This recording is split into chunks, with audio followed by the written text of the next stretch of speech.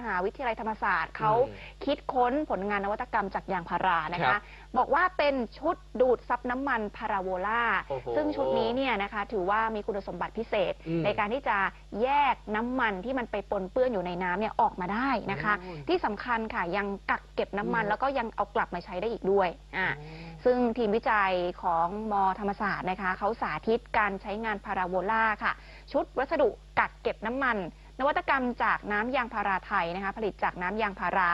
เข้าสู่กระบวนการทางวิทยาศาสตร์นะคะ จนได้เป็นชุดดูดซับน้ำมันพาราโบลาแบบนี้ ซึ่งผู้ช่วยศาสตราจารย์ ดร สุวดีก้องพารากุล อาจารย์ประจำภาควิชาเคมี คณะวิทยาศาสตร์และเทคโนโลยี มหาวิทยาลัยธรรมศาสตร์ บอกว่าพาราโบลาเนี่ยเป็นชุดวัสดุกักเก็บน้ำมันที่ดูดซับน้ำมันได้ดี กว่าวัสดุในปัจจุบันค่ะ สามารถดูดซับน้ำมันได้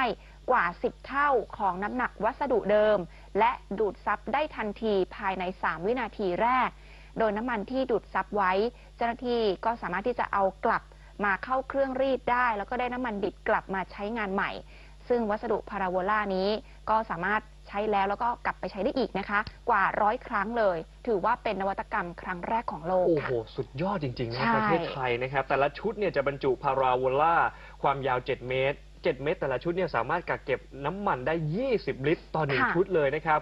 คุณสมบัติที่สำคัญก็ยังสามารถวางกั้นจำกัดอาณาเขต จุดที่เกิดน้ำมันปนเปื้อนได้ คืออมสามารถจะควบคุมได้ไม่ให้กระจายไปในวงกว้างแบบนั้นแหละนะครับค่ะแล้วก็ถือว่ามีประสิทธิภาพที่ดีกว่าวัสดุจากต่างประเทศด้วย ตอนนี้มีข่าวดีเลยครับ เพราะว่าทางภาคเอกชนให้ความสนใจค่ะแล้วก็บอกว่าพร้อมเลยครับ ที่จะร่วมลงทุนในการผลิตและก็จำหน่ายให้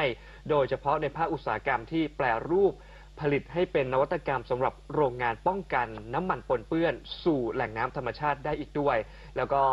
ไม่ได้เป็นแบบว่ามีการพัฒนามาอย่างต่อเนื่องแบบนี้ มีรางวัลการันตีด้วยครับ คุณลค่ะวิการคุณผู้ชม เพราะว่านวัตกรรมพาราโวล่านั้นยังได้รับเหรียญทอง จากการประกวดสิ่งประดิษฐ์นานาชาติที่กรุงเจนีวา ประเทศสวิตเซอร์แลนด์อีกด้วยอืม โอ้โห เป็นผลงานที่สุดยอดมากแล้วดูการทำงานของเขา ดูดซับน้ำมันเสร็จก็อืมยังรีดน้ำมันออกมาน้ำมันเนี่ยเอาไปใช้ได้ต่ออีกอืม นะคะถือว่าเป็นนวัตกรรมที่ดีมากเพราะว่าที่ผ่านมาบ้านเรามีข่าวว่าน้ำมันรั่วไหลลงทะเล